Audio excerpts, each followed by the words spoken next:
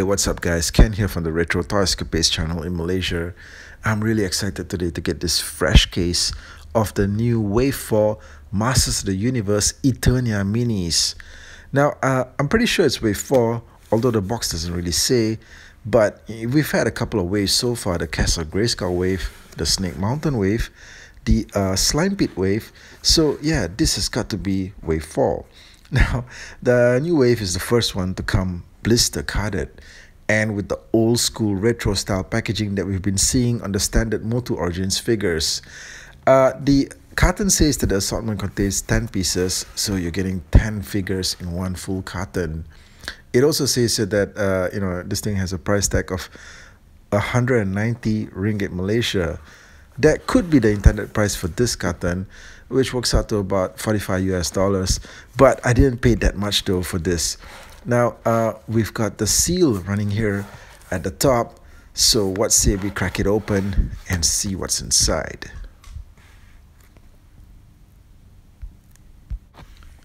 Inside the box, uh, we've got the blister cards lined up very neatly. So what say we pull them out one by one and see what's in the assortment.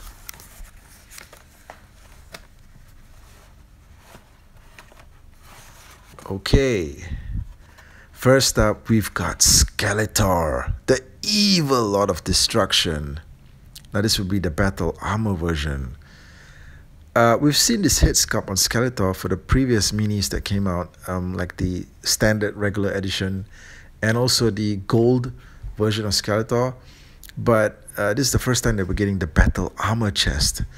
Now, I gotta say that it looks pretty good. Pretty sure the chest doesn't have the battle action gimmick though, uh, unless we ever get a deluxe version of this figure. Okay, so at retail, uh, based on the price tag here, this would go for 17 Malaysian ringgit and 90 cents, which works out to just slightly over 4 US dollars. I gotta say, that's a pretty sweet deal, okay? And uh, that just makes this series even more collectible, you know?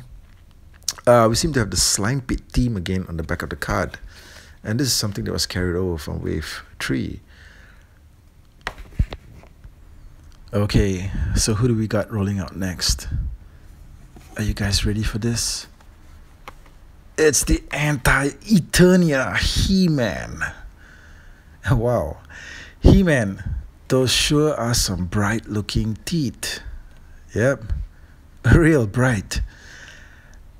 Look at that. Um, you know, you could get blinded. I guess he wants us to know that he brushes his teeth every day. Look, I don't know much about the anti-Eternia mode other than the fact that He-Man is obviously evil here. This version wasn't available in the Vintage series, but it did appear in the Classics line.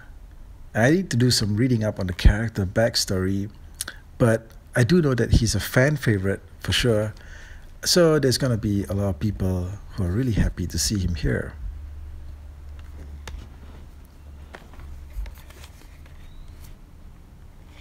What do you guys think about the anti-Eternia He-Man? Okay, next up, who do we have out of the box? Say hi to Teela, warrior goddess. Very nice sculpt. You know, I believe Teela did make an appearance in the previous wave as well, but I guess they wanted to make sure that the waves had a good mix of heroes and villains, and that the core heroes were represented. Anyway, it's great to have her here, for sure. And the sculpt, yeah, this is a good looking figure.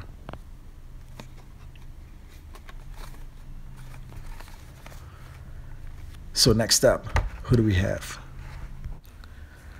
Wait for it. Orko! Wow. wow. Check this out, guys. This is one good looking mini Orko.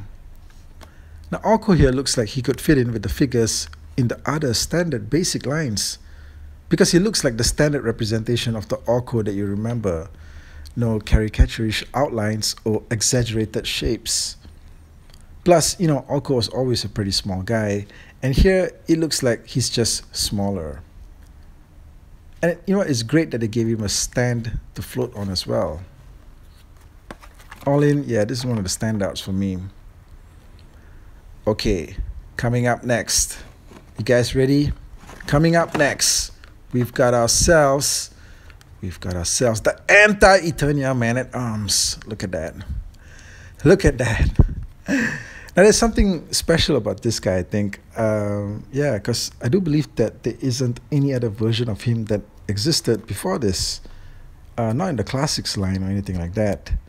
Uh, so they've made this figure a debut release for the Eternia mini series. Um, again, that's something that's going to make a lot of fans happy, okay? Uh, and which I think elevates the collectability status of these minifigures even more. Okay, guys, what's next? What do we have next? You ready for this? We've got Merman. Merman, the evil ocean warlord. Okay, this figure, wow, you know, it's pretty much a real stunner. I really like how they pulled it off. Merman looks pretty much the same as what you expect the character to look like. Um, there's no radical departure like a big goofy grin or something like that. Um, you know, the thing about these, uh, you know, miniature figures, uh, it's like you could give them exaggerated bodies, but if their facial sculpts still have the standard, instantly recognizable look of the character, then that's what sticks with you. And that's what makes the attempt uh, at miniaturizing the figures a success. Yeah. And this is just uh, you know, this is just an overall solid piece for me. I want to see more of these villains, man. Come on. Okay, we've got more figures in the box. Who do we have next? Zodac, the cosmic enforcer. Here's the guy that balances between good and evil. The guy that you may not necessarily want on your team because he may just decide that you're not the one that needs to be saved today. Um, I kind of think that this translation uh, worked out pretty well. You know, he looks pretty much like the, he looks pretty much you know, pretty much like the Origins version of him that just came out recently, uh, just in miniature form. This is a pretty good representation. Uh, if you're if you're a fan of Zodac and you're collecting the various incarnations of him, this is a good addition to your collection. All right, we're almost towards the end of the box here, but we've still got more. And uh, here's another Orko.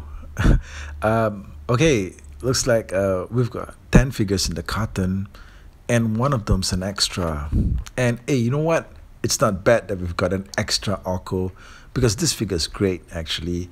Yeah you may just want to keep one carded and uh, have one up open for display all right so cool. You know if you're getting the carton you're getting an extra Orko all right then i'm expecting a few more showstoppers in the line.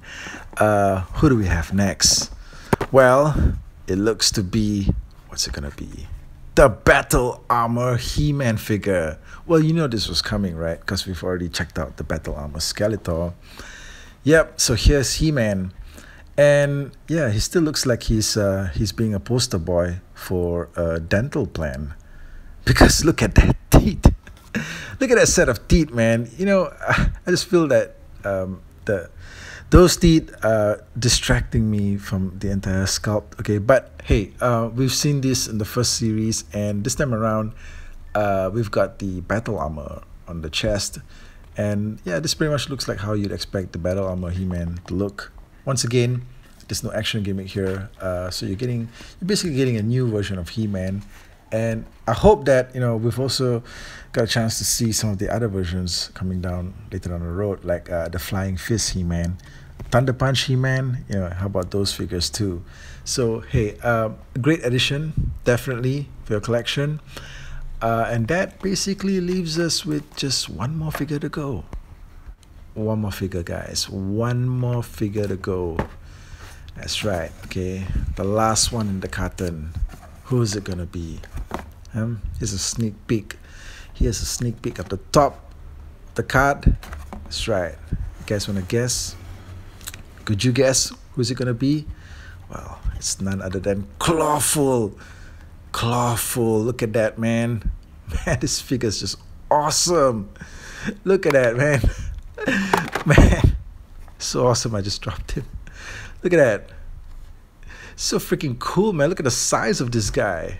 You know what? Um, yeah, looking looking at the at the dimensions of the figure, uh, I, I didn't realize this actually, but uh, well, we've not gotten a clawful figure in the Origins line so far. But uh, in the vintage series, he was pretty much the same size as the rest of the, the figures because of the they all shared basically the, the same uh, body. But you know what? Seeing him in this form, you realize that actually Clawful is supposed to be a pretty big guy, you know, because even as a miniature figure, he's huge. Look at that massive, you know, massive claw on him. Okay, yeah.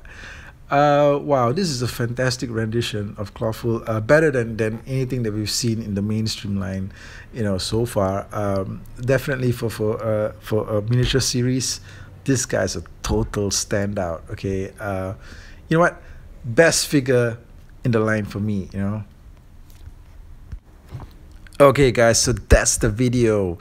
Know, I wasn't really a big fan of the uh, the Eternia minis. Uh, I did get the first, uh, I, well, I got the Snake Mountain set, and I also got the Slime Pit set, and I pretty much thought that you know I was done with it. But I'm seeing the new figures that they're putting out, and they're really expanding the universe. Okay, uh, if they keep getting us uh, solid uh, solid figures like like these, and also expanding it to include you know maybe stuff like Modulok and uh, Blast Attack and those guys in the future. I'm telling you what, I'm gonna keep on collecting. All right, and uh, I want to know what you guys think of the Eternia minis as well. Uh, let me know what you thought of this video. You know, what do you think about this new wave of figures? Uh, if you're collecting them yourself, you know, okay, let me know your thoughts. Thanks as always for joining me. Uh, I'll catch you guys again real soon.